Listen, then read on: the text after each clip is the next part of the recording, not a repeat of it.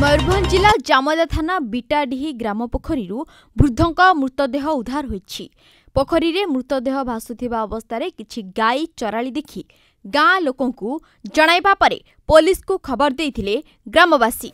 खबर खबरप जामदा ठान पोलिस अग्निशम बाहिनी घटनास्थलले पहुंची पोखरी मृतदेह उद्धार गरि उधार मृत व्यक्ति विटाडी ग्राम बंगाली सोरेन बोली जनापिला तेव बङ्गाली गतमास जानुवरी चबिस तारिखु निखोज रहे परूत्रु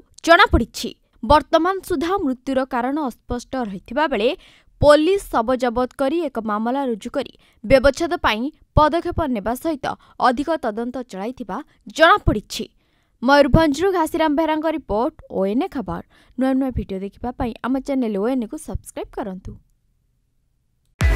କରନ୍ତୁ